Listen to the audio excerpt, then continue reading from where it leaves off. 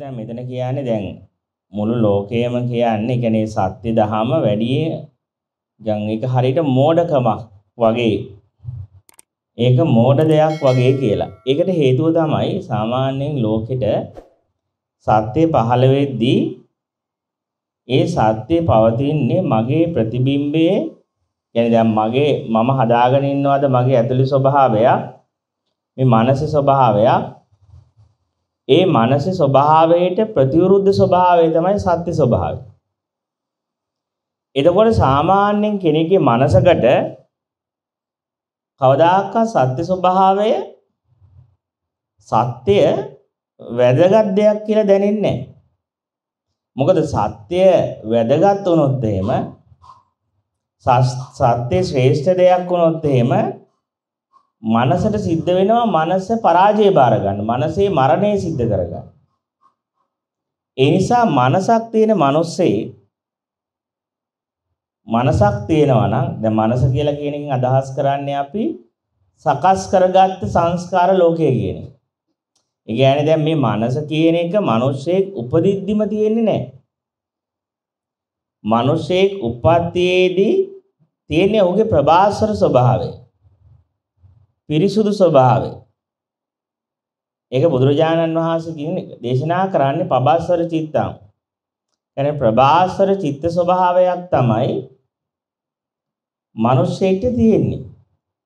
ඒ ප්‍රබාස්වර චිත්ත ස්වභාවයක් එයාට තිබ්බට එයා කාලයක් මේ ලෝකේ ජීවත් වෙන්න ගත්තට පස්සේ අපි ඉපදිලා කාලයක් යද්දී එයාගේ මනස ඒ ඉන්න සංස්කෘතියට අනුව ආගමට අනුව ජාතියට අනුව සකස් වෙන්න පටන් ගන්නවා. ඒ කියන්නේ අපිට අපේ දෙමාපියෝ කියලා දෙනවනේ පුතේ මේක හොඳයි මේක නරකයි මේක උඹේ ආගම මේ පිට ආගම් මේ ඔයාගේ සංස්කෘතිය මේ අනිත් සංස්කෘතිය මේ විදිහට අපිට ලස්සන කැත හොඳ නරක මිහිරි අමිහිරි ලෝකයක් තියෙනවා. ඉතින් ඇත්තටම අන්න එක තමයි ඒ අන්නේ වගේ අපි හදාගත්ත මානසික ලෝකයක් තියෙනවා. ඒ මානසික ලෝකයට තමයි මෙතන මම මේ මනස කියන එක අත් කියලා අදහස් කරේ. ඒක සත්‍ය අවබෝධය කරපු කෙනෙක්ට ඇත්තටම මනසක් නැහැ. මනසක් නැහැ කියලා කියන්නේ යාට සිතිවිලි නැහැ කියන එක නෙමෙයි. සිතිවිලි නැහැ කිව්වොත් ඒක වැරදි. මම මෙතන මනසක් නැහැ කියන එකෙන් අර්ථවත් කරන්න උත්සාහ කරන්නේ සත්‍ය අවබෝධ කරපු කෙනෙක්ට බැඳිච්ච මානසික ලෝකයක් නැහැ. උපාදාන වෙච්ච මානසික ලෝකයක් නැහැ. ඒ නිසා යාට අපි කියනවා මනසක් නැහැ කියලා. දැන් අපිට දැන් ඊතර අපිට මනසක් තියනවාද කියලා අපි හොයාගන්නේ කොහොමද? දැන් අපිට තියෙනවා බලන්න නිකන් ඉඳලා අපිට දකින්න ආස දැන් තියෙනවා ගිහිල්ලා බලන්න ආස. සහ මං දකින්නවත් ආස නැති දැන්. මම බලන්න ආස මිනිස්සු ඉන්නවා. මං දකින්න ඇස් දෙකටවත් දකින්න ආස නැති මිනිස්සු ඉන්නවා. ඒ වගේම මම කණ්ඩ කැමති ඒවා දිනවා. මං කණ්ඩ අකමැති දේවල් දිනවා. මං අහන්න කැමති ඒවා දින අහන්න අකමැති දේවල් තියෙනවා. මං සිතනවාට කැමති නැති අරමුණු තියෙනවා. සිතනවාට කැමති අරමුණු තියෙනවා. ඉතින් මේ විදිහට අපිට තේනවා දකින්න, අහන්න, විඳින්න, සිතන්න කැමති දේවලුත් මට තේනවා. මම අකමැති දේවලුත් තියෙනවා. අපි කියනවා අන්න එතකොට යාට මානසික ලෝකයක් තියෙනවා. මනසක් තියෙනවා.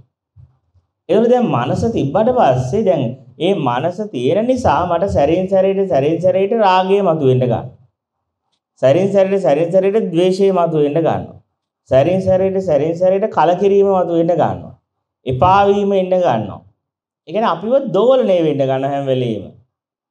ඒ කියන්නේ මේ ඒ කියන්නේ දැන් ඒ කියන්නේ අපිව මේ බලන්න සැරින් සැරේට අපි ඔන්න දැන් අපි අද ඕකේ කිව්වමනේ ඊට වෙද්දී එක වෙනස් වෙලා මං කියන අදින් පස්සේ නම් මං ආයේ මේක කරන්නෙම නැහැ.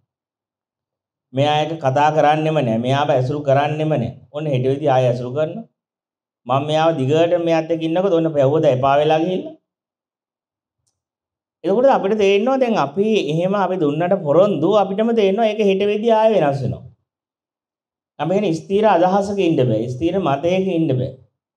හැම වෙලෙම අපිව වෙනස් වෙන්න ගන්නවා. කියන්නේ අපි දෝලණය වෙනවා. මේ උඩ තියෙන ඕන අද සතුටේ උඩ ගිහිල්ලා එන හෙටේදී මෙන්න මූණ ඉල්ලගෙන අපායට ගහපු කැලෙන්ඩරයක් වගේ. ඔකදා බලද්දි මෙන්න අම්පුර්සිරි. ඉතින් හයි එකේ ඉන්නේ අප් එකේ ඉන්නවා. ඉතින් අපිට තේරෙනවා මේ මනස හැම වෙලෙම චලනයටපත් වෙනවා. ඉතින් මේ චලනයත් එක්ක එයා චලනය වෙනවා. මනස චලනය වුණාට ප්‍රශ්නයක් නෑ. ඒක මනසේ ස්වභාවයනේ සිතුවිලි ලෝකේ. හැබැයි අපිත් ඒත් එක්කම චලනය වෙනවා. අදලා අපිට තේනවා ඒ කියන්නේ එහෙනම් මම මනසත් එක්ක අනන්‍ය වෙච්ච කෙනෙක්. ඒකයි මනස වෙනස් වෙන වේගයෙන් මාත් වෙනස් වෙන්නේ. මා චලනය වෙන්න ගන්නවා. කියලා දැන් ඔන්න ඕක අපිට තේරෙනවා දැන්. මෙන්න මෙහෙම මනස එක වෙලාවකට මේක හොඳයි කියලා හිතනවා එපා වෙනවා කියලා හිතනවා මැරෙන්න කියලා හිතනවා ආයේ දිගටම ඉන්න කියලා හිතනවා මේ එක එක එක එක වෙලාවට මේක ඇවිල්ලා එක එක ඒවා කියද්දි අපි ඒ ඒ ඒ මෝඩ් එකත් එක්ක එකතු වෙන්න පටන් ගන්නවා. ඉතින් එතකොට අපිට දෙනවා මේක මහා වදයක් කියලා.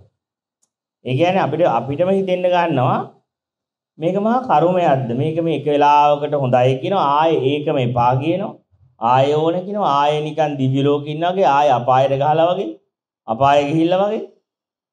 මෙහෙම අපේ ආත්මේ සැරින් සැරේට සැරින් සැරේට මෙහෙම දෝලණය වෙද්දි චලනය වෙද්දි අපිට ඒක එපා වෙනවා. දැන් කෙනෙක් සත්‍ය අවබෝධයට ගියාට පස්සේ සත්‍ය අවබෝධයට කරපු කෙනෙක්ගේ සිත එහෙම වෙනස් වෙන්නේ සිත වෙනස් වුණාට එයා වෙනස් වෙන්නේ එයා එකම ස්වභාවයකට පත් වෙලා එයා ඒ දෝලණය වෙන සිතින් අයින් වෙලා චලනය වෙන සිද්ධියෙන් ඇත්තටම ගත්තොත් එහෙම මනස කොහොමද ස්වභාවය දුක. ඒක තියෙන්නේ හැම වෙලෙම දෝලන. ඒක දැන් මනසේ ඉන්නකන් අපිට කියන්න බෑ මම මනස තුල ජීවත් වෙනකන් සකස් කරපු ලෝකයේ තුල ජීවත් වෙන කෙනෙක්ට මං සන්තෝෂෙන් ඉන්නවා කියලා කියන්න බෑ. ඒකනේ බුදුරජාණන් වහන්සේ කියන්නේ දුක්ඛෝ ලෝකෝ පදිටිතෝ කියලා ලෝකේ නම් දුකයි. ලෝකේ නම් මනසයි. ලෝකය කියලා බුද්ධ ආගමේ කියන්නේ මනසට. මනසට කොයි වෙලාවකවත් සතුටින් තියනවා කියලා බුද්ධාගමේ කියන්නේ මොකද මනස පිහිටා තියෙන්නේ දුක මත දුක බේ විතරයි ඒකේ තියෙන්නේ. මනසක් හදාගත්තට පස්සේ හොඳට තේරුම් ගන්න ඒකට සතුට කියලා එකක් නැහැ. ඒක බුදුහාර බේස් කරන්නේ දුක මත තියෙනවා කියන. ඒ දුකේ අඩුකම විතරයි අපි සතුට කියලා ගන්නෙ දැන්. මම මේ කියන්නේ හොඳට තේරුම් ගන්න ඒ දුකේ අඩුකම අපි දැන් හිතනවා සන්තෝෂය කියන්නේ ඒක කියලා. තේරුම් ගන්න සතුට නම් කවදාකවත් ඔබ සතුට කියන එක අත්දැක්ක නම් ඒක ආයේ දෝලණය වෙන එකක් නෙමෙයි. ඔබ ආදරය කියන එක අත්දැක්ක නම් ආදරේ ආයේ වෙනස් වෙන්න බෑ. ඒක ආදරේ අනිත් පැත්ත ආදරේමයි. සතුටේ අනිත් පැත්ත සතුටමයි. ඒකට ආයේ අඩු වැඩි වීමක් නැහැ. ආදරේ වෙනස් වීමක් නැහැ. ආදරේ අඩු වෙලා යාමක් වැඩි වෙලා යාමක් එහෙම එකක් නැහැ. එහෙනම් ඔබ ඔය අඳුරගෙන තියෙන එක ආදරේවත් සතුටවත් නෙවෙයි. ඒ අපි අඳුරන් තියෙන්නේ මනසේ දුකේ මට්ටම. මනසේ දුක කියන්නේ දුකයි මම මම අඳුරගෙන තියෙන සතුට කියලා. ඒ මනසයි මම මාව තාම අඳුරගෙන තියෙන්නේ. මම කියන පොයින්ට් එක හොඳට ඉදපන් එතකොට ඔබට සමහරට තේරෙයි දැන් සතුට තිබ්බනම් සතුට ආයේ වෙනස් වීමක් නැහැ. වෙලා තියෙන්නේ නම් අපි අපි මනස තුළ ජීවත් වෙනවා නම් අපි සකස් කරපු අර පසු කාලීනව හදාගත්ත ලෝකෙ තුළ ඉන්නවා නම් එතකොට තේරුම් ගන්න ඒකේ සතුටක් කියන එකක් අත්දකින්න බෑ මොනවා කළා. හැබැයි තේරුම් ගන්න ඒක අපි බෙදාගෙන ඉන්නවා ඒ දුකම තමයි තියෙන්නේ දුකේ අඩු බව සතුට කියලා. හැබැයි ඒක වෙනස් වෙනවා හපෝ. ඒක ආයෙ වැඩි වෙනවා. ඉතින් ඒ මනස තියෙන වෙනස් වීම. ඉතින් එතකොට දැන් මම මේක තේරුම් ගත්තට පස්සේ අපිට කවදාකවත් අපි සතුට කියන එකක් අත්දැකලා ඇත්තෙත් නෑ. සතුට කියලා දන්නේ අර මානසින් හදපු කතාවේ මුල් අවස්ථාව සමහරට දුක අඩුයි.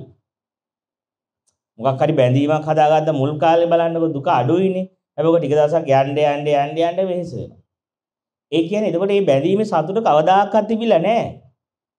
බැඳුණා කියන්නේ මෙතන දුක තමයි. හැබැයි දුකේ අඩු අවස්ථාව. නේ? ඒ දුකේ අඩු අවස්ථාවට අපි සතුට කියලා ලේබල් එකක් ගහගන්න. ඒ ලේබල් එකේ ඉඳ අපි හිතනවා මේ මම සතුට වින්ද කියලා ආදරය බැඳීමක් ඇතුළේ. ඉතින් දැන් අන්න ඔය කතාව තේරුම් ගන්න මිනිස්සේ ඥානයක් තියෙන මිනිස්සෙක් තේරුම් ගන්නවා මොකද්ද මේ බුදුරජාණන් වහන්සේ දුක්ඛෝ ලෝකෝ පටිච්චිතෝ කියන ලෝකේ තියෙන දුක මත මොනම සංස්කාරයක් ගත්තත් ඒ හැම සංස්කාරයක්ම දුක මත ප්‍රතිෂ්ඨාව ලැබලා තියෙන්නේ. දුක උඩ තියෙන්නේ. එහෙනම් මිනිස්සෙට මනසින් ගැලවුණොත් විතරක් සකස් කරගත්ත ලෝකයෙන් අයින් වුණොත් ඔබට ගියොත් විතරක් සතුට කියන එක හම්බෙනවා. ඒක හැබැයි අර වගේ දෝලණය වෙන්නේ. ඒ නිසා කවදාකවත් ආධ්‍යාත්මික කෙනෙක් ලබන සතුට ආධ්‍යාත්මික කෙනෙක් ලබන ආදරය ඒක වෛරයක් බවට ආයෙ කවදාකවත් පත් වෙන්නේ නැහැ. ඒක දුකක් බවට ආයෙ පත් වෙන්නේ නැහැ. ලෞකික කෙනෙක්ගේ සතුට කියන එක ඒක දුකනේ. ඒ නිසා ඒක නැවත නැවත නැවත නැවත දුකටම ආයෙන්නේ යකි මුලටමයි.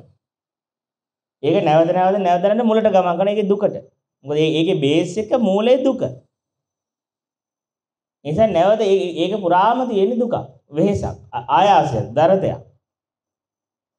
ඉතින් එතකොට දැන් මෙන්න මේ කතාව තේරුම් ගත්තට පස්සේ දැන් මනස තුල ඉන්න කෙනෙක්ට මේ සකස් කරගත්ත ලෝකයක හිතවිලි වලින් හදාගත්ත කතාන්දරයක ජීවත් වෙන කෙනෙක්ට කවදාකවත් සත්‍යය කියලා පැත්ත සත්‍යය ගැන අපි යමක් කියද්දී සත්‍ය ප්‍රකාශ කරද්දී සත්‍යය පේන්නේ මෝඩකමක් විදියට. ඒක නිකන් හරි ඒක හදවතට දැනෙන්නේ නැහැ. දැන් උදාහරණයක් මෙහෙම කියන්නකෝ දැන් සාමාන්‍ය මිනිස්සෙගේ මනසට අපි හිතමු ආදරය කියන ෆීලින් එක දැනෙනවා කියලා හැඟීම දැනෙනවා කියලා. ආදරය කියන එකක් දැනුනොත් එහෙම එයා මනසින් ඔබ්බේ ඉන්න කෙනෙක් නම් මනසෙන් එහාට ගියපු කෙනෙක් නම් එයා කවදාකවත් Tamanට ආදරයක් දැනෙච්ච කෙනාට ඒක වචනින් ප්‍රකාශ කරන්න යන්නේ නැහැ. ඒක කියන්න යන්නේ නැහැ. මොකද දන්නවා යම් කෙනෙක්ට මට ආදරයක් තියෙනවා නම් මට එයා කෙරේ කරුණාවක් හරි මෛත්‍රියක් හරි ආදරයක් හරි තියෙනවා නම් ඒක ප්‍රකාශ කිරීමම තමයි එයාට තියෙන ලොකුම කරදරේ. ඔබ එයාගේ නිදහස නැති කිරීම. එයාගේ විවේකය, එයාගේ නිදහස මොකද ලෞකිකම ඒ කියන්නේ ඒ කියන්නේ සාමාන්‍ය ආධ්‍යාත්මික කෙනෙක්ට ඇති වෙන ප්‍රේමය තුල කිසිම විදියක ඒක අයිති කරගැනීමේ සිටිවිල්ලක් මනසට පහළ වෙන්නේ නැහැ. ඒ දකින්නවත් අහන්නවත් මගේ කරගන්නවත් සිටිවිල්ලක් ඒකට ඒක කිසිම ඒකට ඒකට මනස සම්බන්ධ වෙන්නේ නැහැ. ඉතින් එතකොට සාමාන්‍යයෙන් කිසිම කිසිම වචනයක් එළියට නොදාපු කෙනෙක්ගේ ආදරයක් ප්‍රේමයක් වචනෙන් කියලා නැහැ කිසිම වචනයක් ප්‍රකාශ කරලත් නැහැ ඒ වගේ කෙනෙක්ව සාමාන්‍ය මිනිස්සුන්ට බේරෙ නිකන් මේ මනුස්සයා මෝඩේ. කඹරනවා ඔක්කොම කරනවා අඩුම ගානේ හිතේ තියෙන එක කියා ගන්න කියන්නේ. අඩුම ගානේ වචනයක් නොකිය ඉන්නවා. එතකොට අන්න ඒ වගේ මිනිස්සෙක් දකිද්දී ඒ වගේ කෙනෙක්ව දකිද්දී මනසක් තියෙන මිනිස්සෙක් ඉදන්නේ මේ මිනිස්සයා හරි මෝඩ මිනිහෙක්. නිකන් කඹරනවා විතරයි.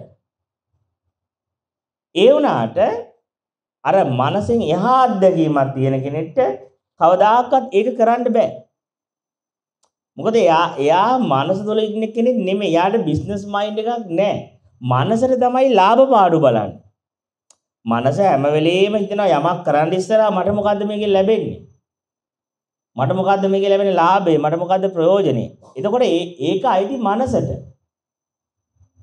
එතකොට මනසට අයිති වුණාට පස්සේ මනස හැම වෙලේම මනසක් තියෙන මිනිස්සෙක් නම් දැන් ඔබේ යාළුවා මනසක් තියෙන කෙනෙක් නම් ඔබ මනසින් ඔබේ අත්දැකීමක් තියෙන කෙනෙක් නම් ඇත්තම ඔබේ යාළුවව අවඥාවට ලක් කරලා ඔබට පිස්සුද? ඇයි ඔහොම ඉන්නේ? Tamanට දැනෙන දේ ගිහිල්ලා ප්‍රකාශ කරන්න, කතා කරන්න, කියන්න. කියන්නේ ඉවරයක් කරගන්න. ඉතින් හැම වෙලේම මනස උත්සාහයක යෙදෙනවා එහෙම ප්‍රකාශය කරලා නැවත තමන්ගේ පැත්තට අවධානයක් ගන්න. ඒක තමයි මනසේ ඇති. මනස කියන්නේම මමත්වයට කියන නමක් තව. මනස කියන එකට තමයි අපි ඊගෝ එක මමත්වය කියලා කියන්නේ. මනසේ ස්වභාවය එක හැබැයි දැන් අපිට තේරුම් ගත්තොත් ඒකයි කියන්නේ ලාවර්සු කියන්නේ දැන් ඒ සත්‍ය යමක් සත්‍ය ප්‍රකාශ කරද්දී සත්‍ය සම්පූර්ණ ඊට ප්‍රතිවිරුද්ධයි. එතකොට අන්න එක තමයි කියන්නේ දැන් ඔබේ ඇතුළෙත් ඉන්නවා මේ සත්‍යයේ ස්වභාවය තියෙන ස්වභාවයත් ඔබේ ඇතුළේ තියෙනවා. ඒ කියන්නේ ඔබේ ඇතුළේ මනසක් තියෙනවා. ඔබේ ඇතුළේ සත්‍යයක් තියෙනවා. ඒ නිසා ඔබට ඇවිල්ලා මනස කියනවා ඔබ කියපන් ප්‍රකාශ කරන් ඔබ අයිති කරගනින් ඔබේ කරගනින්. මෙහෙම කරහන් කියලා එක පැත්තක් ඇවිල්ලා කියනවා. ඒ තමයි අපේ මනස. මනස හැටි ඒක. මනස එක පැත්තකින් අපිට කතා කරද්දි තව අපේ ඇතුලේ තියෙන බුද්ධ ස්වභාවය සත්‍යය ඒක තේරුමක් නැහැ. ඒක හරි කරදරයි අනිත් කෙනෙක්ට. ඒක හරි වෙහෙසක්. කියලා එක ස්වභාවයක් ඇවිල්ලා ඒක අයින් කරනවා. ඒක තේරුමක් නැති දෙයක් බව අන්න එතකොට ඔබට තේරෙයි ඔබ දිහා හොඳට බලාගෙන හිටියොත් මේ ස්වභාව දෙක ඔබේ ඇතුලේ තියෙනවා.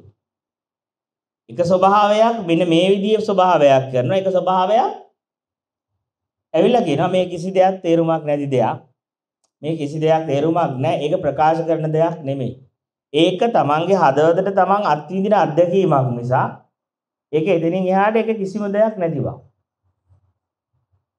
දැන් මෙහෙම අන්න එහෙම ඉද්දී දැන් බලන්න දැන් මම ඔය එක උපමාවක් ගත්තේ. දැන් ලෞකික මිනිස්සෙක් කරන්නේ කොහොම හරි ඇතිවෙච්ච දේ අයිති කරගන්න මගේ කරගන්න අනිත් කෙනා බලන්නේ ඒ ඒ ඇතිවෙච්ච ප්‍රේමයත් එක තව තව හුදකලාවට යන. තව තව තව තව තවන් තනි වෙන්න. තව තව තව තව තමන් ඒකත් එක්ක පාළුවට ගමන් කරන්නේ. මේ දෙක දෙපැත්තකට ගමන් කරන්නේ. මනස වැඩි නම් එයා යන්නේ දෙවැන්න අයිති කරගන්න මනස නැත්තම් සිහිය නම් අවදිය තියෙන කෙනෙක් නම් එයා යන්නේ එන්න එන්න ඒ අරමුණත් එක්කම තව තව තව තව තමන්ගේ හුදකලාවට තමන්ගේ පාළුවට තනිකමත් එක්ක එකතු වෙනවා. ඒකයි මම කිව්වේ මේ දෙක දෙක දෙපැත්තක් තියෙන. අර එන්න එන්න එන්න එන්න ඒ අරමුණත් එක්ක පාළුවට යන කෙනා මනසට වෙන්නේ මොඩෙක් විදියට. තේරුමක් නැති මිනිස්සෙක් විදියට. ඒක හරියට ඒ කියන්නේ මනසට මනස වැඩ කරන්නේ යම් ප්‍රෝග්‍රෑම් වෙච්ච විදියක් තියෙනවා. ඒ ප්‍රෝග්‍රෑම් එකෙන් පිට මනසට වැඩ කරන්න බෑ. ඒක හරියට මේ වගේ දැන් බෝධිධර්ම හාමුදුරුවෝ චීනෙට යද්දී බෝධිධර්ම හාමුදුරුවෝ කකුල් දෙක එක සබත්තුවක් දැන් ඔන්න දැන් බෝධිධර්ම හාමුදුරුවෝ චීනට යද්දී චීන අධිරාජ්‍ය විශාල උත්සවයක් සංවිධානය කරලා තිබ්බා. ඒක ලොකු උත්සවයක්. විශාල සංඝයා වහන්සේලා රටේ මිනිස්සු කියලා විශාල ප්‍රමාණයක් චීන අධිරාජ්‍ය මේ ලෑස්ති කරලා විශාල උත්සවයක් බෝධිධර්ම හාමුදුරුවෝ පිළිගන්නේ. දැන් බෝධිධර්ම හාමුදුරුවෝ ඉන්දියාවේ ඉඳලා යනවලු දැන් චීනට. ගිහලා දැන් යද්දි විශාල සෙනගක් ඉන්නවා. හාමුදුරුවෝ එක පැත්තකින් අනිත් පැත්තකින් මිනිස්සු මෑද රජුරෝ ඉන්නවා. දැන් එතකොට ලොකු විශාල දහස් ගාණක් සෙනගේ ඉන්න උත්සව සභාවක්. කොහොම හරි බෝධිධර්ම හාමුදුරුවෝ ඉස්සරහට එනවලු දැන් ඉතින් බුද්ධ ආගම ගේන කෙනාට දැන් චීන අධිරාජ්‍යයට බුද්ධ ආගමනේ ගේන්නේ මේ. ඉතින් ලොකු රාජ්‍ය අනුග්‍රහය දක්වලා මේ සියල්ල කරලා දැන් දැන් පිළිගන්නවා. හැබැයි පිළිගන්න යද්දි බෝධ ධර්ම හාමුදුර ඈත ඉඳලා එද්දි එක කකුලක් තේරවලු. එක සබත්තුවක් කකුලේ දෙනවා අනිත් සබත්තු ඔළුවේ තියෙනවා. දැන් ඔළුවේ සබත් ඔළුවට සබත්තුවක් තියාගෙන ඔළුවට සබත්තුවක් තියාගෙන දැන් චීන අධිරාජ්‍ය ළඟට බෝධ ධර්ම හාමුදුර එනවා. දැන් ටික ටික ටික චීන මේ අධිරාජ්‍යගේ මූණ අවුල් වෙලා යනවා. ටික ටික ටික මූණ අවුල් වෙලා යනවා. මේ මොකද්ද මේ වෙන්නේ? දැන් අපි හිතුවේ හොඳ ඥානවන්ත ලෝකින් අපිටත් වඩා ඥානෙ වැඩි ගොඩාක් ප්‍රඥාවන්ත භික්ෂුවක් අපේ රටට වඩින්න කියලා. ඒකයි මෙච්චර උත්සව සභා තියලා මේව කරලා මේ දේවල් කරලා සම්පූර්ණ මෙච්චර පිළිගන්නේ මෙන්න මේක නිසයි. ඒ වුණාට බැලුවාම ඇවිල්ලා තියෙන්නේ සාමාන්‍ය බුද්ධියක්වත් නැති. සාමාන්‍ය ඥානයක්වත් නැති. දැන් සාමාන්‍ය බුද්ධියක්වත් නැහැ. සාමාන්‍ය ඥානයක්වත් නැති ඔළුව උඩ සබත්තුව ඔළුවේ සබත්තුවක් දාගෙන. එක කකුලක් එක සබත්තුවක් කකුලේ අනිත් සබත්තුව ඔළුවේ දාගත්ත නිකන් පිස්සු හැදිච්ච මිනිස්සෙක් වගේ. සාමාන්‍යයෙන් හිතන්නකෝ දැන් අපිට උනත් මෙතන ඔළුවේ සබත්තුවක් තියාගෙන මිනිහෙක් ආවොත් ඔළුවට ඔළුවට සබත්තුවක් තියාගෙන අපි hina වෙනවනේ මේ පිස්සුද කොහෙද පිස්සෙද්ද කොහෙද කියලා සාමාන්‍ය ඕන මිනිස්සෙක් සමාජචරයට ලක් කරනවා. ඉතින් ඒකට මේ චීන අධිරාජ්‍යය කියනවා අපි හිතුවේ මේ ගොඩාක් ඥානවන්ත භික්ෂුවක් වෙනවා කියලා. ඒ වුණාට ඔබ දැක්කහම අපිට හිනාත් වෙන ඔබ නිකන් මෝඩයෙක්ද කොහෙද? කිසිම ඥානයක් නැති මිනිහෙක් නේ ඔබ. කියලා කිව්වට පස්සේ කියනවා බෝධාරම ආඳුරගෙන ඔබට මාව මේ මාව දකිද්දි මම මේ කියන්න හදන පණිවිඩය තේරෙන්නේ නැත්තම් මොකද්ද මේ එක කකුලක් සපත් එක කකුලක් සපත්තුවත් අනිත් සපත්තුව ඔළුවේ තියෙනවා දකිද්දි ඔබට මම මේ උගන්වන දේ ඔබට දැනෙන්නේ නැත්තම් ඔබට තේරෙන්නේ නැත්තම් එහෙනම් මෙතනින් එහාට මම කියන්න යන කිසිම දෙයක් ඔබට තේරෙන්නේ නැහැ. මෙතනින් එහාට මම උගන්වන්න යන කිසිම දර්ශනයක් ඔබලට තේරුම් ගන්න හම්බෙන්නේ නැහැ. ඒ නිසා මම යන්න තීරණය කරනවා කියලා චීන අධිරාජ්‍ය නගරයේ මේ නගරේ අයින් වෙනවා. කියන්නේ බෝධිරාජාමතුරු. සීනාධිරාජයගෙන ඔබ යන්නේකම තමයි හොඳ. ඔබ වගේ කෙනකින් අපිට ඇති තේරුමක් නැහැ. ඊළ ඊට පස්සේ බෝධිධර්මාවතුරු එහෙම අනිත් පැත්ත හැරිලා යනවා. අනිත් පැත්ත ඇල්ලලා නගරේ කෙළවරට ගිහලා කියන්නේ ඒ චීනයේ බෝඩර් එක ළඟට ගිහිල්ලා. කෙළවර උන්වහන්සේ නතර වෙනවා. ඥානවන්තයෝ ඉන්නවනම් මා හොයාගෙන ඒ වුණාට මම කිසි දවසක ආයේ නගරේ ටවුන් එකට යන්නේ නැහැ. ඉතින් ඇත්තටම ඒ ඒ ඒ ඇත්තටම මේ මනසට තමයි දැන් දැන් බැලුවොත් එහෙම මේ කතාව දිහා චීන අධිරාජ්‍ය මනසේ තුල ඉන්න කෙනෙක්. චීන අධිරාජ්‍යයට තේරුනේ නෑ මොකක්ද මේ බෝධිධර්ම හඳුර කරේ කියලා. ඔහෙම ගන්න බල අපිට හැඩයක් කියලා කියන්නේ දැන් දැන් සාමාන්‍යයෙන් යාව දැකපු ගමන් ඒ කියන්නේ මිනිස්සේ අපි අපේ සාමාන්‍ය මනස මනස කියන එක මනස ඉන්න මනසට වර්තමානයක ඉන්න බෑ. මනස හැම වෙලේම පූර්ව නිගමන විනිශ්චයන් තුළ ඉන්නේ. කියන්නේ මනසට කියන්නේ මනසක් තියෙන කෙනෙක් නම් ඒ කියන්නේ දැන් එයා දැන් මොකද හේතුව අරක දකිද්දිම තීන රජ රාජ්‍යයේ ඔළුවේ තියෙන නිගමනයක් සපත්තු තියෙන්නේ ඔළුවේ දාන්න කියලා කකුලේ දාන්න කියලා. දැන් මම ඔබට තොප්පියක් එකපාරට දුන්නොත් අපි මොකද කරන්න කියන්නකෝ? අපි ඩක් ගාලා දාගන්න වෙන්නේ මම දාන්න කිව්වද නෑනේ. ඒ තොප්පියක් හම්බෙද්දිම අපි නිගමනය කරලා ඉවරයි. තොප්පිය තියෙන්නේ ඔළුවට දාගන්න කියලා. ඇයි වෙන එකකට තොප්පිය දෙන්න බැයිද? ඒ වුණාට අපිට ඒක තේරෙන්නේ නැහැ. ඒ තේරෙන්නේ නැති අපේ නිගමන කරන මනසට. එහෙනම් අපේ මනස දැම්ම තියා දන්නවා තොප්පියක් හම්බුනොත් ඔළුවේ දා ගන්න ඕනේ, සපත් දෙකක් හම්බුනොත් කකුල් දෙකට දා ගන්න ඕනේ කියලා අපේ තියෙනවා හැම දෙයක් ගැනම යම් අයිඩියා එකක්. යම් අදහසක්. ඒ නිසා ඒක කවුරු හරි දකිද්දිම අපි ටක් ගාලා ඇවිල්ලා ඉවරයි. මේ එන්නේ අර අහවලා. අපෝ මෙයාගේ හැටි මෙහෙමයි. මෙයාගේ විදිය මෙහෙමයි. මෙයාගේ විදිය මෙහෙමයි කියලා. ඒක තමයි මනසේ ලක්ෂණය. දැන් අපි කවුරු හරි ගියොත් මෙයා බුදු වෙලා කියලා ගල් පිස්සුද මෙයා ඊරෑ මාත් එක්කත් හොඳට බිව්වනේ. හොඳට ඊරෑ බිව්වට අද බුදු වෙන්න බැරිද පුළුවන්. ඒ වුණාට අපේ විශ්වාස කරන්නේ අපි දැන් අපි හිතමු දැන් බුදුහාමුදුරු එනවා මේ වෙලාවේ අපිට ට්‍රේල් බයික් එකක ඉයර්ෆෝන් එකක් හරි ගහගෙන ආවොත් එහෙම අපි කියයිද බුදුහාරෝ කියලා නෑනේ මොකද බුදුහාමුදුරුවෝ කිව්ව ගමන් අපේ තියෙනවා බුදුහාරෝ වඩින්නේ මෙහෙමයි මේ විදිහට සිවුර මෙහෙම රැස් මාලාවක් තියෙනවා මෙහෙමයි මෙහෙමයි මෙහෙමයි කියලා නිකන් හරි ට්‍රේල් බයික් එක ආවොත් එහෙම බුදුහාරෝ ට්‍රේල් බයික් එක වැඩිවොත් අපි පිළිගන්නේ ට්‍රේල් බයික් එක හෙඩ්ෆෝන් එකකුත් ගහගෙන. කියන්න බෑ ඉතින් මේ කාලේ බුදුරු එහෙම වෙන්න පුළුවන් යුගයේ වෙනස් කාලේ ඒ කාලේ හෙඩ්ෆෝන් තිබෙත් නෑ ඒ කාලේ ට්‍රේල් බයික් තිබෙත් නෑ. ඒ වුණාට අපිට මේ හැම දෙයකටම අපි ඔළුවේ ප්‍රෝග්‍රෑම් කරලා තියෙනවා. අපේ ඇතුලේ විදිහක් තියෙනවා පැටර්න් එකක් තියෙනවා. අපි ඒක හරහා තමයි අපිට ඒක පේන්නේ. ඉතින් මට හිතෙන හැටියට ඔබ මනසෙන් තුලින් ඉන්න කෙනෙක් නම් ඔබට කර්ම විපාකය හැටියට ඔබවත් අනිත් අය විනිශ්චයට ලක් කරනවා. මොකද ඔබත් ඒ පැටර්න් එකටම අයිති කෙනෙක්නේ. දැන් මෙහෙම අපි ගත්තොත් එහෙම මේක දැන් මනසක් නැති කෙනෙක්ගේ ලක්ෂණය තමයි මනස නැති කෙනෙක් කොයිලාවකවත් එහෙම කිසිම දෙයක් පිළිබඳ ප්ලෑන් කරලා ජීවත් වෙන්නේ එයාගේ හැම එකක්ම එයා ප්ලෑන් එකකට නෙමෙයි ඉන්නේ විනිශ්චයකට නෙමෙයි ඉන්නේ අර දැන් අර මෙයා වගේ අර අපි කියන්නේ අර මාරි කියුරියරගේ කතාව දෙන්නේ මාරි කියුරිගේ එයාත් ගණිතමය ප්‍රශ්නයක් අවුරුදු 3ක් try කළාලුනේ 20 try කළා. ඒ 20 try කළාට පස්සේ එයා මාස 3ක් යනකම් දැන් try කරනවා try කරනවා හරියන්නේ නැහැ. ඉතින් අවුරුදු 3ක්. එකම ප්‍රශ්නේ අවුරුදු 3ක් වෙහෙසලා වෙහෙසලා අන්තිමට එක දවසක රාත්‍රියේදී එයාට එකපාරට හීනයක් දකිනවා. හීනයක් දකින ගමන් මෙයා එකපාරට මොකද වෙන්නේ? එහෙම්ම නැගිටලා එයා උත්තර ලියනවා.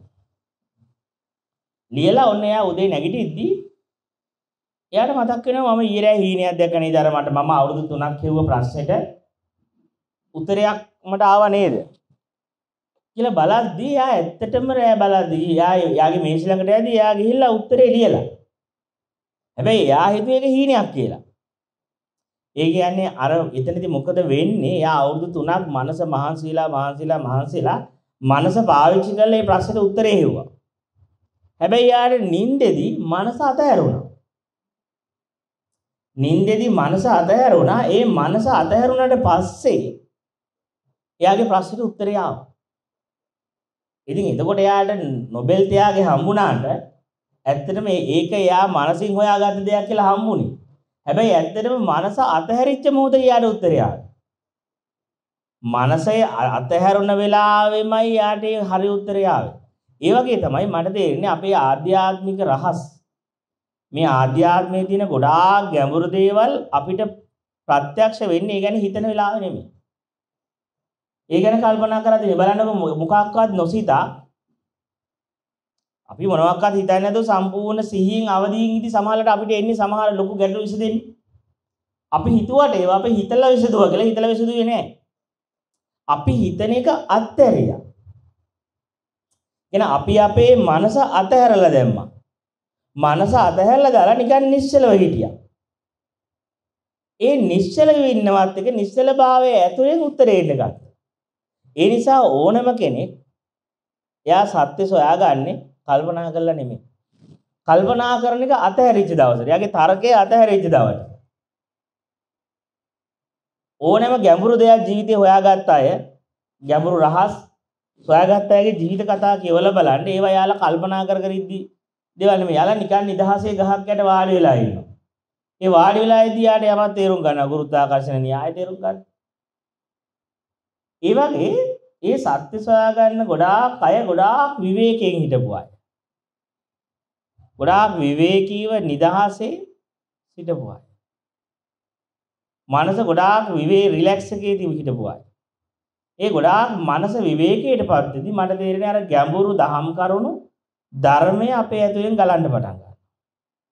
දැන් බලන්නකෝ අපි සක්මන් භාවනාව වගේ කරන ලාභයේ මනස ගොඩාක් රිලැක්ස් වෙනවානේ.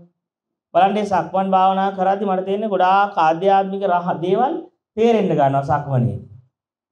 මොකද මේ සක්මන් කරද්දි අපි කයත් ගොඩක් රිලැක්ස් කරලා විවේකීව හරිම සහැල්ලුව නිදහසේ ඇවිදිනවා. අරමුණක් නැහැ සක්මන් භාවන ටාගට් එකක් නැහැ. මේ වෙලාවට අතෙන්ට යන්න ඕන කියලා එකක් නැහැ කලබලයක්. නිකන් කිසිම අරමුණක් නැතුව කිසිම ටාගට් එකක් නැතුව නිකන් ඇවිදිනවා නිදහසේ. නිකන් විවේකයටපත් වෙන්න ආරිනවා ක්‍රියාවත් එක්ක. ඒ නිකන් විවේකයටපත් වෙද්දි ගොඩාක් බලන ගොඩාක් ගැඹුරු ධර්ම කරුණු තමන්ගේ ඇතුළට ගලාගෙන එන්න ගන්නවා. සමහර කට්ටියට බලන්න භාවනා කරද්දී ගොඩාක් හොඳ දේවල් ඥානෙ එන්න පටන් ගන්නවා පාන්දර. බ්‍රහ්ම මූර්තිය කියන්නේ ඒකනේ උදේ පාන්දර 4ට හතර කාලේ භාවනා කරන්න කියන ගොඩාක් ඒ බුදුවරු බුදු වෙන්නේ ඒ ටයිම් එකට. ඒ කාලයට. ඒ පාන්දර 4 කියන වෙලාව තමයි ගොඩක් ඒ භාවනා මධ්‍යස්ථානවල 3:00 නැගිටලා 4 ඉඳන් තමයි පරියන්ක දෙන්නේ. මොකද ඒක හරිය සුවිශේෂී වෙලාවක්. මනස ගොඩාක් සයිලන්ට් වෙන වෙලාව, නිශ්චල වෙන වෙලාව. නැගිට ගමන් අරමුණු ප්‍රමාණයත් අඩුයි. දවස තාම ගත කරන්න එළියට ගියේ නැහැ. දවස් සිදුවීම් වලට මුහුණ දුන්නෙත් නැහැ. ඒ නිසා ඒක ගොඩක් හොඳ වෙලාවක්. හොඳ ටයිම් එකක් භාවනා කරන්න. ඒ තමන්ගේ ඥානය අවදි කරගන්න පුළුවන් වෙලාවක්. ප්‍රඥාව. ඉතින් එතකොට එතකොට මම මේ කියන්න උත්සාහ කරේ ඒ ප්‍රඥාව අවදි වෙන්නේ මනස තුළදී නෙවෙයි. මනස අතහැරිලා ඉන්න කාලය වකවානුවේ. හැබැයි ක්‍රෙඩිට් එක ගන්නේ මනස. දැන් බලන්නකෝ දැන් අපිට සතුට දැනෙන දැන් නිකන් හිතලා බලන්න ඔබට සතුටක් ආපු මොහොතක් තියෙනවා නම් ඒ සතුට එන්නේ මනස යම් මොහොතක අතහැරෙන්නේ. දැන් මේ විදිහට දැන් මට කාර් එකක් ගන්න ඕනේ කියලා try කරනකන් සතුට නැහැනේ. try කරනකන් සතුට නැහැ. හැබැයි කාර් එකක් ගත්ත ගමන් මොකද වෙන්නේ?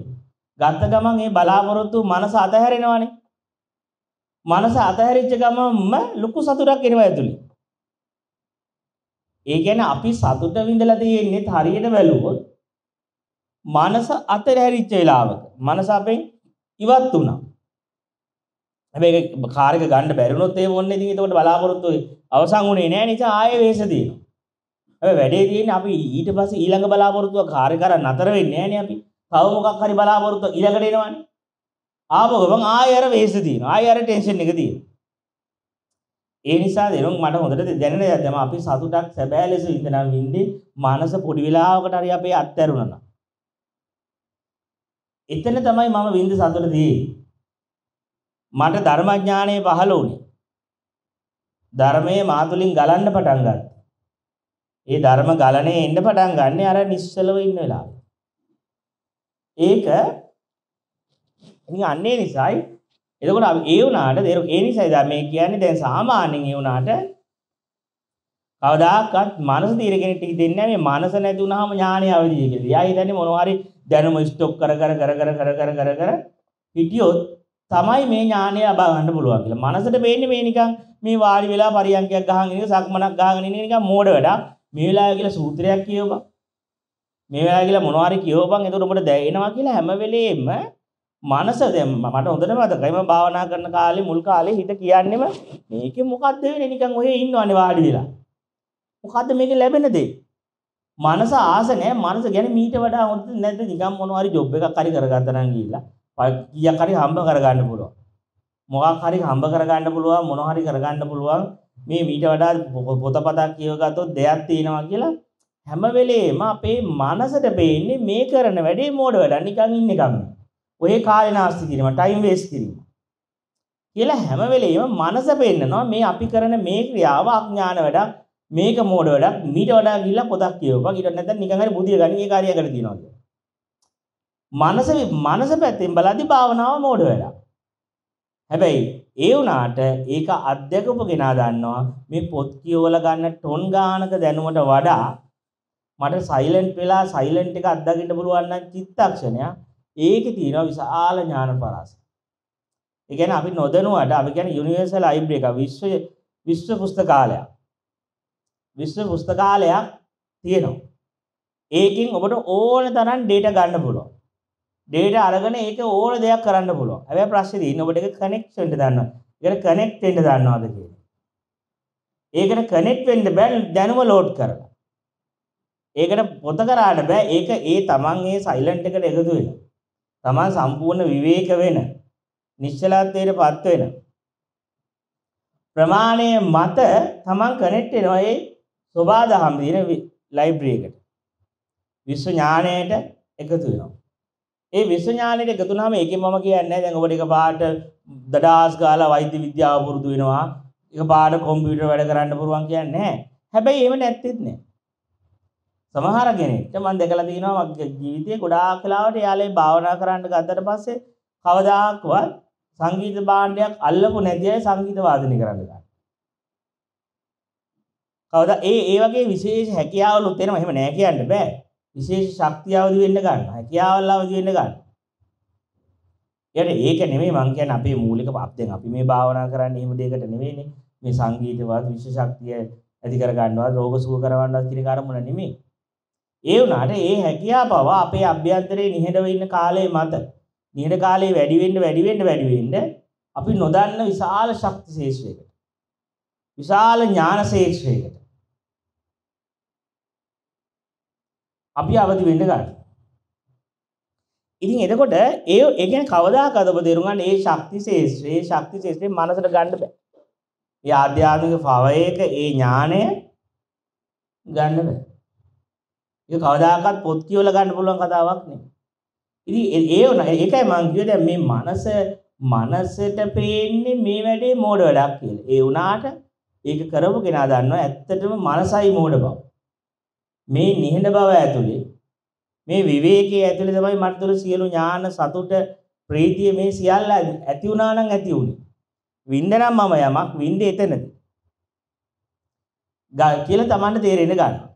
දැන් හරියට නිකන් හොඳට බලන්න. දැන් අපි ගමු ක්‍රිකට් ක්‍රීඩකයෙක් ගන්නකො. ක්‍රිකට් ක්‍රීඩකයෙක් එයා දක්ෂ එයා යම් අපි තුමු එයා ගහනවා. එයා හයක් ගහනවා කියන්නකො. සාල හයක්. ඒ ඇත්තට මෙයා මේ බැට් කරන හය ගහන වෙලාව ගන්නකො. ඒ වෙලාව එයාගේ මනස නතර වෙනවා. දැන් බලන්න හිත හිතා ප්ලේ කරන්න බෑනේ දැන් ක්‍රිකට් ගහද්දී. ක්‍රිකට් ගහන වෙලාවේ අපිට මේ ඒ බෝලේ එන වෙලාවට අපි සම්පූර්ණ හිතන එක නතර වෙලා ඒ වෙලාවට ඔටෝ තමන්ගේ බැට් එක යනවා. බැට් එක ගිහිලා ඒ දක්ෂ ලෙස යාගේ කියන්නේ යාගේ යා බැට් කරන්න ගියාට පස්සේ වැදෙන ඒ බෝලේ එන වෙලාවේ සම්පූර්ණ එයා සිතන එක නතර වෙනවා එතන. සිතන එක නතර වුණාට පස්සේ තමයි හරිම ෂොට් එක වදින්නේ. එයා හිත හිත හිත ගහන්න කිව්වොත් යන්න බෑ. මම කියන එක බලන්නකො හොඳට හිත හිත ක්‍රිකට් ගහන්න කිව්වොත් මම මම දන්න සෙල්ලමින්ද මම කියන්නේ අනිත් ඒවත් එහෙම ඇති. දන්න ක්‍රීඩාව ගැන කියන්නේ උපමාවක්. ඒ නිසා එහෙම හිත හිත ගහන්න බෑ ටික. ඒක ඒ වෙලාවේ ඒ ෂොට් එක යන්නේ. ඒ වෙලාවේ තමන් සිතන එක නතරයි. සිතන එක ඉවර කළා. හැබැයි ඊට පස්සේ ක්‍රෙඩිට් එක ඊට පස්සේ මානසික නම් මානසික මං ගැව්වනේ හය එකක් කියලා මනස ඇවිල්ලා ඊට පස්සේ ලකුණු දා ගන්නවා ඒක. ඇත්තටම මනස නැති ඉඳයි එහෙම ලස්සනට පහරක් වැදුනේ. ලස්සන ප්‍රහාරයකට ගියේ පොඩි වෙලාවකට මනස ස්ටොප් වුණා අපි. ඒ නිසා තමන්ගේ දක්ෂ විද්‍යාරම්භයක් ආවා. හැබැයි අර ඒ වැඩේ තියෙන්නේ ඒ වුණාට ඒක ඒක ඒක ගන්න ලකුණු ක්‍රෙඩිට් ගන්න මනස කියලා. මම ගැහුවා කියලා එයා ඒක ඉඳලා ගැහුවා වගේ. එයා හිතලා ප්ලේ කරපු එකක් වගේ. එයා අනිත් පැත්තට ගිහලා මාන්නයක් හදා ගන්නවා. මම මාර වැටින්න අද මම හොඳට මෙහෙම කළා ප්ලේ කරා කියලා. ඇත්තටම එයා අද දවසේ මනස පාවිච්චි නොකර හින්දායි ප්ලේ වුනේ ඉච්චර හොඳට. මනස අතහැරපු හින්දායි. මට තේරෙන්නේ දැන් ධර්ම දේශනාවක් වුණා සාකච්ඡාවක් වුණා දෙන කවුරු හරි ඕනවට වඩා පොතයි මනසට එකතු වුණොත් මේ ධර්ම දේශනාව හරි බෝරින් හරි අපිට තේරෙනවා ඒක ඇතුලෙන් ඉන්නේ දැනුම ගොඩක්. ඒක අපේ හදවත ස්පන්දනය කරන්නේ. ඒක අපේ හදවතට දැනෙන්නේ නැහැ. ඒක ගොඩාක් ඩේටා තියෙනවා, කරුණු තියෙනවා, දත්ත තියෙනවා. හැබැයි මනස තුළ ඉන්න කෙනෙක් නැගෙන අම්මට තියෙනවා. අන්න දේශන අන්න මාර්ගය. ඒ මොකද හැබැයි අර හදවතින් ආපු ඒක ඒක සමාට මොනවත් පටිසමුපාදත් නෑ මොකක්වත් නාම රූපත් නෑ විඥානත් නෑ නිකන් සරල කතාවක් නිකන් කතා කරනවා නිකන් සුමුදු කතා බහක් යනවා හැබැයි හද හදවත ස්පන්දනය හදවත හොඳට දැනෙන්න ගන්නවා හැබැයි මනසට මනසින් බලන කෙනෙක්ට පේන්නේ යකෝ මොකද්ද කිව්වේ මොනවා කියනවා තේරෙන්නේ නැහැ මොනවද වචන ගොඩක් කියනවා නිකන් ශාස්ත්‍රීය බවක් නෑ කියලා තේරෙනවා. නිකන් මේ යන්නේ කොයිද මල්ලේ පොල් වගේ. හැබැයි අර හදවතට ලං වෙච්ච කෙනෙක්ට එයාට තේරෙනවා මේ මහා ගැඹුරුම දේශනාවක් කළා. හැබැයි සරල ළමා කතාවලින්. ළමා භාෂාව. මම මේ හැමදේම මේ කියාගෙන ආවේ මානසික ස්වභාවය පෙන්වන්න. මනසට පේන්නේ ගැඹුරුම දේශනාව ලාමක දේශනාවක් කියලා. එතන ගැඹුරුම දේශනාව කියන්නේ කිසිම වචනයක් කතා නොකර ඉන්නේ. ඒත් මනස තේරුම් ගන්නෑ කිසිම වචනයක් කතා නොකරන එක තමයි උත්තමම දේශනාව. උතුම්ම දේශනාව ගැඹුරුම ශුන්්‍යතාවයේ කවුරු හරි ප්‍රකාශ කරන්න කිව්වොත් එහෙම එයා නිශ්ශබ්ද වෙනවා. මනස කියනවා මෙයා දන්න නිවනක් නෑ කියලා. හැබැයි ඥානයේ උපරිම කෙනා දන්නවා මේක තමයි එයා ශුන්්‍යතාවය ගැන කරපු ගැඹුරුම ධර්ම දේශනාව. මොකද ශුන්්‍යතාවය ගැන ධර්ම දේශනාව කළා ශුන්්‍යතාවයේ වචනේට ගේදිම ශුන්්‍යතාවය අපරිසුද්ධ වෙලා ඉවරයි. ශුන්්‍යතාවය ගැන මම කතා කරද්දි මේක සාපේක්ෂ කරලා ඒක කැත කරලා ඉවරයි ඒක. ඉතින් එතකොට ශුන්්‍යතාවය ගැන හරියටම දන්න කෙනෙක් අධ්‍යක්ෂක කෙනෙක්ට ශුන්්‍යතාවය ගැන ධර්මදේශනාවක් ඔබ වහන්සේ කරන්න කිව්වොත් නිහඬ වෙද්දි මනස අවඥාවට ලක් කරනවා වගේම ඥානවන්තයා ඒක ශ්‍රේෂ්ඨම දේශනාව කරනවා. ඒකයි කිව්වේ මනසට මේක තේරුම් ගන්න බෑ. සාමාන්‍ය මිනිස්සු හැබැයි සාමාන්‍ය මිනිස්සු අවඥාවට ලක් නොකරන නම් ඒක ඇත්තටම සත්‍ය වෙන්නද ඒක ලවර්සු කියන්නේ. එයාලා ඒක අවඥාවට ලක් කරන එකකින්ම තමයි අපි තේරුම් ගන්න පුළුවන් වෙන්නේ. ඇත්තටම මේක මනසින් ඔබ්බේ දෙයක් අපි දන්නවා. මනසින් එහා දෙයක්. මනසට ළඟා වෙන්න බැරි දෙයක්. අපි දන්නවා. ඉතින් එතකොට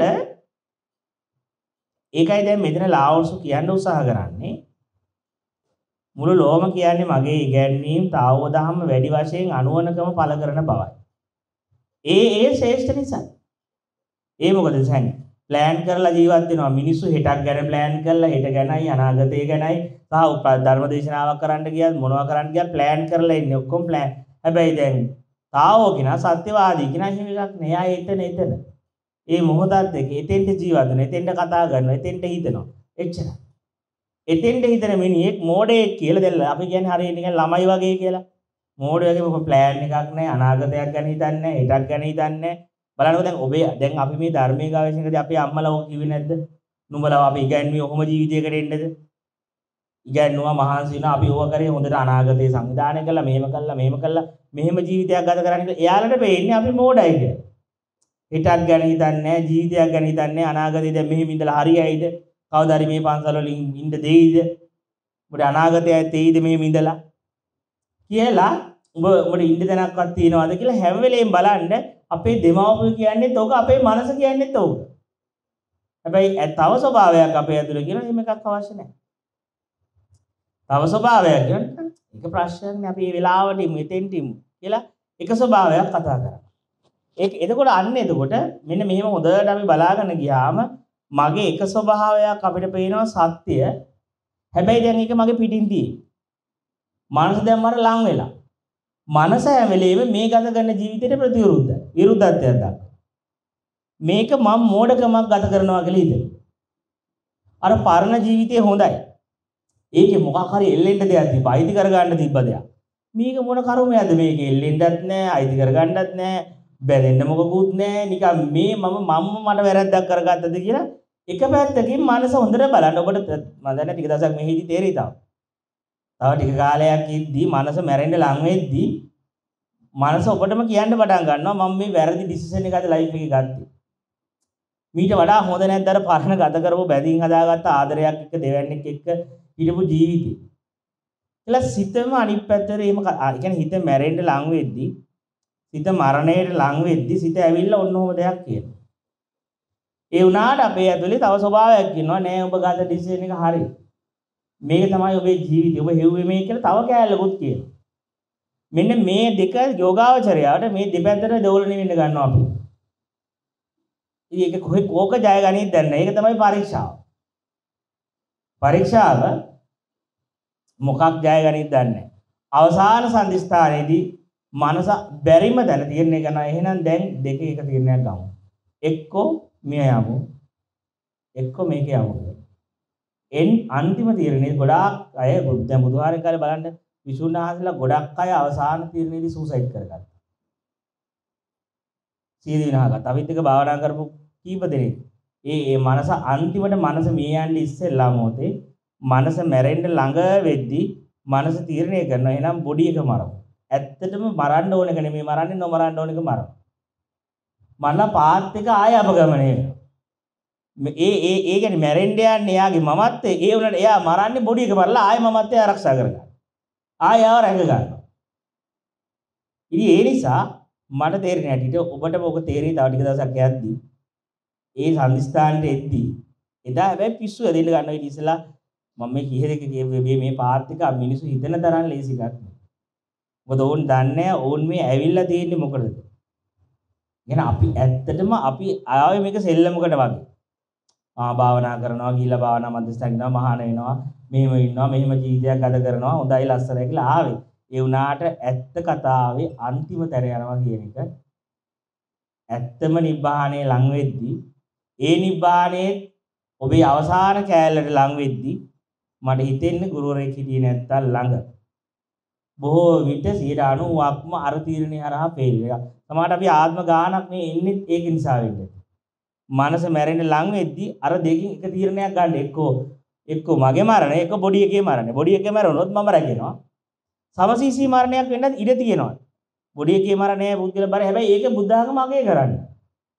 ඒක නෝ ඒක අහඹුවක් එහෙම සිද්ධියක් වෙන එක. එහෙම සිද්ධියකට මුණ දෙන්න වෙන එක. ඉතින් එතකොට ඒ නිසා බුද්ධ ආගම කොයි වෙලාවකවත් මෙන්න මේ තීරණයේදී මරණය ශ්‍රේෂ්ඨයි කියන තැනට යන්නේ නැහැ. හැබැයි සමහර දැන් දින එහෙම ගොඩ කීපුවයි නැත්තේත් නැහැ. ඒ වුණාට ඔබ තේරුම් ගන්න බය වෙන්නත් එපා. හැබැයි ওই මට්ටමට එනවා. ඔය මට්ටමට ඇවේ පාත්‍රකේ ගැඹුරට ගැඹුරට ගෙදර වැඩේ තියෙන්නේ. මේ දේශනාව වැඩි වුණොත් ඉක්මනට ওই තීරණේ එනවා. අපි උදේ ඉඳේ ආයේ රැයි මේ පොඩ පොඩ කරන්නේ ඔක හිමීට යන්නේ. දැන් උදේත් ඇහෙනවා දවල්ුත් ඇහෙනවා අන්තිමට තීරණයක් ගන්න බැරි වෙනවා. ඉතින් අන්න එතන තමයි ප්‍රශ්නේ තියෙන්නේ. බලන්න ඒකත් ගොඩ යන්න පුළුවන්ද කියලා. එතනත් ෆේල් නොවි ගියොත් එයා ගොඩ යන්නත් ඉඩ තියෙනවා. ඒ නිසා මේක අන්තිමට ගියාට පස්සේ මේක ජීවිතයයි නිවනයි අතර යන සෙල්ලමක් තියෙන. ඒ කියන්නේ නිවනද, ඒ කියන්නේ පුද්ගලත්වයේ මරණයද, බොඩි එකේ මරණයද කියන තැන තමයි අන්තිමට අපි සෙල්ලම් කරන්නේ. ඒ එතෙන්ට ඒ කියන්නේ අපි ජීවිකෝ එක්කෝ ජීවිතේ දෙන්න ඕනේ නැත්නම් මම පුද්ගල වශයෙන් මැරෙන්න ඕනේ. ඒ ශරීරයක් වශයෙන් මැරෙන්න ඕනේ. නැත්නම් මගේ මනසට මැරෙන්න දීලා මම ඒම කාලෙට ඉඩ දීලා ඉවසපම් පපුව. ඉවසපම් පපුව කියලා තෙල් ගාගෙන ඉන්න ඕනේ. තෙල් ගාගෙන හිටියොත් හරි. තෙල් ගාගෙන හිටියොත් මම දන්නේ මේක මේ අලුත් අය පටලව ගන්න එපා. මේ ආධුනික කෙනෙක් මේක කරග මොකද්ද මේ කියන්නේ කියලා හිතා ගන්න බැරි. මෙච්චර භයානක දෙයක්ද මේක කියලා. කමක් නැහැ සෙල්ලමක් කියලා ආවත් අන්තිමේදී ඒ ජීවිතයත් එක්ක කරන ගේම් එකේ ප්ලේ එකේ බලන්න ජය ගන්න පුළුවන්ද? ජය ගන්න නම් පරීක්ෂාවේදී ඔබ ඔබව තෝරන්නේ නැතුව ඔබේ පුද්ගලත්වයේ මරණයයි තෝරන්න ඕන. බොඩි එකේ මරණය නොතෝරා. බොඩි එකේ මරණය නොතෝරා පුද්ගලත්වයට මරිට දුන්නොත් ඔබ පරීක්ෂාව මේ ජීවිතේ ජය ගන්න. ඒන් පරීක්ෂණේ මරණය හරහා යන කතාව. මොකද්ද මේ මරණය අතික්‍රමණය කරන තැන? ඒ කෑල්ල පැනුවට පස්සේ ඔබ සදාකාලික පදාර්ථයේ මේ විශ්වයේ සදාකාලික ජීවනයටපත් වෙනවා. හැබැයි ඒක ලේසි කෙනෙක්ට හම්බෙන්නේ. ඒක ඒක සබාදහම බැරිම තැන දෙන ත්‍යාගයක්. අයින් කරන්න බලලා බලලා බලලා ආයෙ ගන්න බලලා try කරලා try කරලා try කරලා කරන්නම දෙයක් නැත්තම් මේ මිනිස්සයා අතහරින්නෙම නැති මිනිස්සෙක් නා. ඒ නැති සබාදාමට මේ තෑග්ග දෙන්න වෙනවා. ඒක බලනවා අන්තිම මොහොත දක්වාම බලනවා ඔබෙන් ඈත් කරන්නේ. ඔබට නොදී ඉන්නේ. ඒ ඉස්සර ඒකයි මං කියන්නේ නොදී ඉන්න උත්සාහය එක තමයි ඒක යෙදෙන්නේ. මං කියන්නේ බලන්න පුළුවන්ද කියලා. ඒ නිසා අරක එයි ඉතින් මොනවා කරන්නද කරන්න දෙයක් නැහැ. ඒකේ ඒ ලම් වෙද්දි තමයි ඒ දවස් දෙක තුන හතර ලම් වෙද්දි මරණයට ලං වෙකනේදී තමන් ඉවට දැනෙන්න ගන්න. ඒක අර ඥානාරාමාවද කියන සෝහාන් වෙන්නේ ඉස්සෙල්ලා ඒ පරියන්ක දැනනලු දැන් මේකේ වෙන්න යන්නේ මට කියන එක දැනගෙනලු වුණාට පස්සේ දන්නලු එන්නේ ඉස්සෙල්ලා මම මේක දැනන් හිටියා කියලා. අද මෙහෙම දේ වෙන බව සමහරට වාඩි වෙන්න ඉස්සෙල්ලාමත් ඉව දන්නවා ඇතුළේ. ඉව ඇතුළේ තියෙනවා ඉවක්. ඉවට තේරෙන්න පටන් ගන්නවා මෙහෙම සිද්ධියක් වෙනවා. ඒ වුණාට දන්නේ පරීක්ෂාව අරාද ඒ වෙලාවේ මට හිතලා කරන්න බෑ. ඒක මහා අමුතු සංසිද්ධියක්. අර බෝලේ බෝලේ බැට් එක ළඟටදී මට හිත හිතා ගන්න බෑ. ඒ වෙලාවට වදින පැත්තට තමයි යන්නේ. කොහොම වදී දෙයකට කොහොම පෑර එක අනාත්මයි. ඒක අනාත්ම ස්වභාවයක්. යම් මොහොතක ප්ලෑන් කරලා අපිට යන්නත් බෑ. මම මේකට මෙහෙම පේස් කරනවා කියන්න බෑ. මේ මොහොතේ තමයි ගන්න වෙන තීරණය සිද්ධ වෙන්නේ. ඒක මොන පැත්තට වෙයිද කියන්න අපි දන්නේ. හැබැයි අපි මෙහෙම දේශනා අහන්න අහන්න මේක අපිට සපෝට් එකක් තියෙනවා. අපි අහලා තියෙනවා. මෙන්න මෙහෙම එකක් මේ පාත් එකේ යන්න යන්න යන අන්තිම හරියේදී එන්න එන්න තමන් තමන් මරණය අතික්‍රමණය කරන කොටස් ලඟ වෙද්දී ඒක ලේසි දෙයක් නෙමෙයි. මේක පිස්සු හැදෙන වැඩක්. ඒක මේක ලොකුම අමාරු තැනක්. හැබැයි ඒක ජය ගන්න පුළුවන්. අපිට දිරන්න පුළුවන්. බැරි නෑ. හැබැයි ඉතින් මේවා අහලා අහන එක සමහර සපෝට් එකක් වෙයි දෙන්නේ. ඒ අවස්ථාවේදී ඒ කාලවකවානුවේදී ඒ දවසේදී ඒ මොහොතේදී සමහර විට මේක උදව්වකට එන්න ඉඩ මේ ඇහෙන වචන ඒ නිසා වචන අහන්න දිගට දිගට. සාකච්ඡා අහන්න. අහන්න හැබැයි තේරුම් ගන්න කවදා හරි දැනගන්න මෙන්න මෙහෙම එකක් පහු කරන්න තියෙනවා. ඒක සුන්දර කතාවක් නෙවෙයි. ඒක ලේසි වැඩකුත් නෙවෙයි. ඒක තමන්ට ගන්න දෙන ලොකුම තීරණේ ජීවිතේ. මොකද එතනින් එහාට ආයෙ නැවත තමන්ට තමන් හමු වෙන්නේ. ඒ කට්ට පැන්නට පස්සේ ආයේ ඒමක් යාමක් කතාවක් නැහැ ඉතින්. ඒක තමයි අපි බය. අපි ඇතුළ දන්නවා. මෙතනින් මේ කට්ටෙන් එහාට පස්සේ තියෙන්නේ මෙන්න මෙහෙම එකක්. කියන එක. ඉතින් හරි ඉතින් කමන්නේ දැන් දැන්ට ඔය බය වෙන්නේ නැතුව යන්න. ඔහොම ගිහලා ඒක ලෑස්තිලේ දාට. ඔය ඉස්සරහට ඉස්සරහට ඉස්සරහට ඇදී ඒ අවස්ථාවල බනහලා ගියාම ඒක ලොකු ප්‍රශ්නයක් වෙන්නේ නැහැ සමහරට. සමහරට තමන් දන්නේ නැතුව ඒ කැල්ල ගිහිල්ලා තමයි. ඒකට මුණ දීලා ඉවර වෙලා. මුණ දීලා අවසන් කරලා හරි ඊට පස්සේ දැන් ලාවෝසතුමා දැන් කියනවා. මා සතු නිදාන තුනක් වෙයි ඒවා සුරක්ෂිතව පවතිනසේ රැක බලා ගන්න. පළමු වෙන නම් ආදරයයි. දෙවනුව කිසි දිනක පමණට වැඩි නොවන්න. තුන්වෙනුව නම් කිසි දිනක ලෝකයේ පළමු වෙන්නා නොවන්න. හරි. දැන් එතකොට අපි මේකේ එකක් කතා කරමු දැන් වෙලාව ගිහිල්ලා ඉඳලා දැන් මෙතන කියනවා. ඒවා සුරක්ෂිතව පවතින රැක බලා ගන්න පළමු වෙන නම් ආදරය. ආදරය කියලා කියද්දී දැන් අපි තේරුම් ගන්න ඕනේ සාමාන්‍යයෙන් එලයිට කියන නිබාන කියන අධ්‍යක්ෂ මුළු විශ්වයේම තියෙන්නේ ප්‍රේමේ විතරයි. ප්‍රේමේ ඇරෙන්න ආදරේ ඇරෙන්න කියන්නේ වෙන කිසිම දෙයක් නැහැ. ඒකයි අපි මෙච්චර ආදරයට පිස්සු වැටෙන්නේ. ප්‍රේමයට මිනිස්සු මෙච්චර ඇටෑච් බැඳෙන්නේ ඒක ඇරෙන්න වෙන කිසිම දෙයක් නැති නිසා. හැබැයි ඒක පුද්ගලයාට සාපේක්ෂකව දැනෙන විදිය වෙනස්. ඔබ තාව සමහර විට ඔබට ආදරය හම්බෙන්නේ ශරීරය හරහා. ප්‍රේමය ශරීරයට ගමන් කරාට පස්සේ ආදරේ ශරීරයට කරා කරාට පස්සේ ඒක අපිට තේරෙන්නේ ලිංගික ශක්තිය කියන දැන. ඒ ලිංගික ශක්තිය තීර තුල තියෙන නිවනම තමයි. වෙන එනර්ජි එකක් නෑ විශ්වේ. එක කියන්නේ එක ශක්තියයි. එක එනර්ජි එකයි. එක ශක්තියයි නිබ්බාන ශක්තිය විතරයි. ආදරය විතරයි. ප්‍රේමයේ ශක්තිය විතරයි තියෙන්නේ. හැබැයි ඒ ප්‍රේමයේ ගමන් කරලා තියෙන ශාරීරික ආශ්‍රිතව නම් තමන් හඳුනගෙන තියෙන්නේ ආදරය. බොඩි එක ආශ්‍රිතව නම් ඒ කියන්නේ ඔබ තවම දකින්නේ ඒක ලිංගිකත්වයේ හැටියට. එතකොට ඒ එනර්ජි එක ලිංගිකත්වයේ හරහා විතරක් නම් තියෙන්නේ. අපි කියන්නේ ඒක තාම සම්පූර්ණ ආදරේ වෙලා කියලා. පූර්ණ ආදරේ වෙලා කියලා කියන්නේ. මොකද එයාට එයා තාම දකින්නේ එයාගේ සතුට, එයාගේ ප්‍රීතිය අර ලිංගිකත්වය හරහා විතරයි. හැබැයි එතකොට අන්න ඊට පස්සේ අපි කියනවා යාට දැන් සමහර විට ඔයා මේ තූරියම් අවස්ථාව ලිංගිකත්වයේදී අත්දකින්න පුළුවන් චූටි වෙලාවක. ලිංගික ක්‍රියාකාරීත්වයකදී වුණත් කෙනෙක් සමහරට තමාව දිය වෙලා ගිහිල්ලා අතුරුදහන් වෙලා ගිහලා සමහර තප්පරයකට තප්පරේ චූටි කාලයකට යම් අධ්‍යක්ෂකයකට එන්න පුළුවන්. මේ ඒ එනර්ජි එකේ ඒ කියන්නේ මූල ස්වභාවයට යන්න පුළුවන්. හැබැයි ඒක අපි බුද්ධ ආගමේ කොයිලාවකවත් ඒක අගය කරන්නේ නැහැ. මොකද ඒක ඇඩිට් වෙන්න පුළුවන් ඊට පස්සේ. සහ අනික ඒ ඒ ගන්න ශක්තිය වැඩි වෙලාවක් තියෙන්නේ. සහ ඒක තව කෙනෙක් පාවිච්චි කරනවා. මට ඒ සතුට ගන්න මම තව කෙනෙක් පාවිච්චි කරන්න ගන්නවා. ඒ නිසා ඒක බුද්ධ වචනේ හැටියට ලොකු අගය කිරීමක් කළා නැහැ. හැබැයි පහත් කරලත් නැහැ. ලොකු පහත් කිරීමක් කළා නැහැ. ඒ කියන්නේ ඒ කියන්නේ පංචකාමයේ විඳිනවා කියන එක බුද්ධ ආගම ප්‍රතික්ෂේප කරපු දෙයක් නෙමෙයි. කියන්නේ පංචකාමයට බැඳෙන්න එපා. පංචකාමයේ අයිති කරගන්න එපා. දැන් පැවිදි වෙද්දී නම් ඒක සම්පූර්ණ අතහැරීමකට යනවා. ඒක සම්පූර්ණ නිබ්බාණය පැත්තටම හරවනනේ එනර්ජි එක.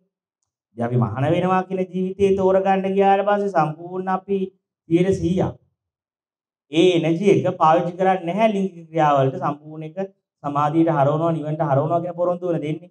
බ්‍රහ්මචාරී වෙනවා කියද්දි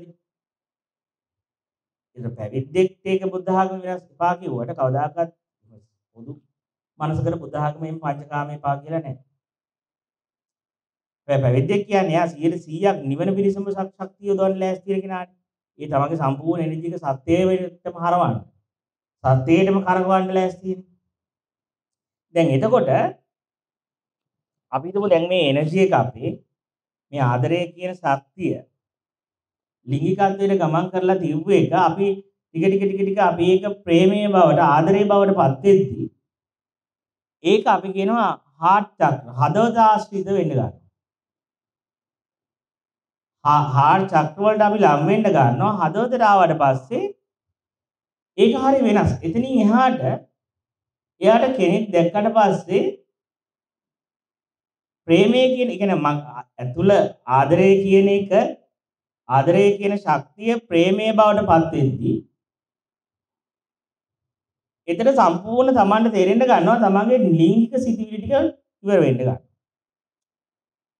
කිසිම ලිංගික සිතිවිල්ලක් තමන්ට පහළ වෙන්නේ නැහැ ආයි.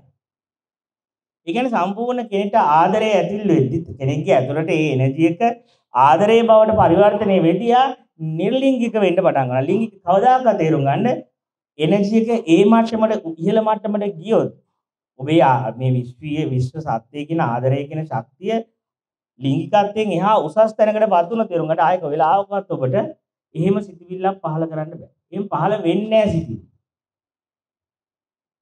ඒක හරියම පියෝ සිතිවිලි එක ගන්න. හැබැයි ඒක මෙහෙම වෙන්න ගන්න. තාම ඒක සිරිසියල් ලෝකෝත්තර නෑ. එනර්ජි එක තාම ඔබ නිබාණයට කරගිලා නැහැ. හැබැයි හරි ආසයි දෙනවා ඉතින් එහාට චිත්‍ර අඳින්න. කාව්‍යයට ආසයි දෙනවා. හරිම කැමති මිහිරි සින්දු අහන්න. ගීතවලට කැමති. චිත්‍ර අඳින්න කැමති. ලස්සන පරිසරවල ඉන්න කැමති.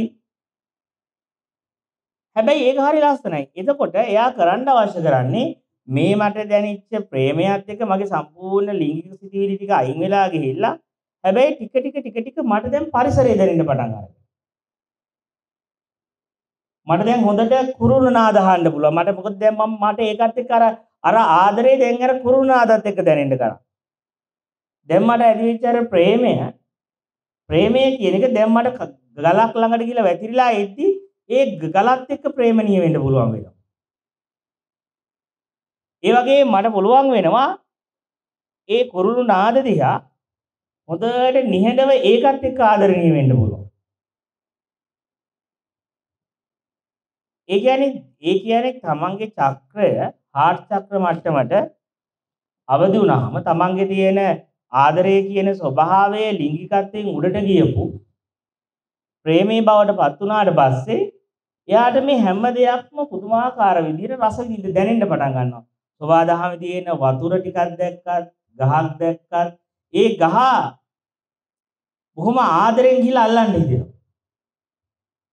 හොඳනේ කළා දිනවද නිකන් බලන්නකෝ ගහක් ළඟට ගිහලා අර කොස් ගහ හරි කමන්නේ. අරන් ඒක ආදරෙන් පිරිමදින්න. ඒක හරිම සුන්දර අත්දැකීමක් දැන්. මිනිස්සෙගේ මනසට ප්‍රේම කරන්න ගැහණියෙක් අවශ්‍ය නැහැ. පිරිමියෙක් අවශ්‍ය නැහැ.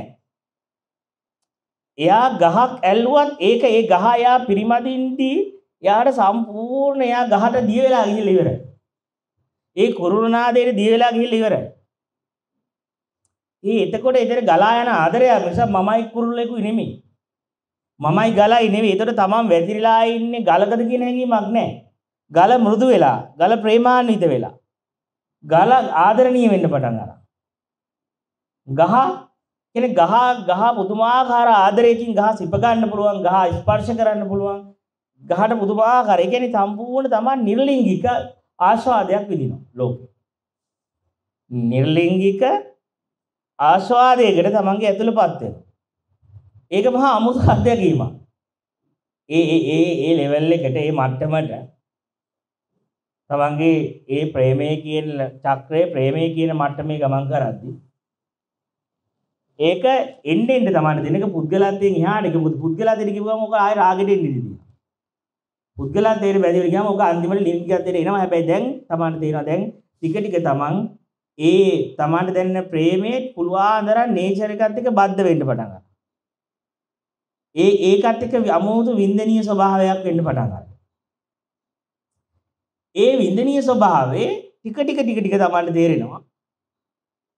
ඉහළට ගමන් කරද්දී ආදරය තව පොඩ්ඩක් ඉහළට ගමන් කරද්දී ඒක පූජනීය හැඟීමක් බවට පරිවර්තනය වෙන්න ගන්නවා. ඒක අපි කියන්නේ හරියට යාඥාවක් කියලා කරනවා කියලා ක්‍රිස්තියානි කට්ටිය. අපි බුද්ධ පූජාවක් තියෙනවා කියලා කියන්නේ.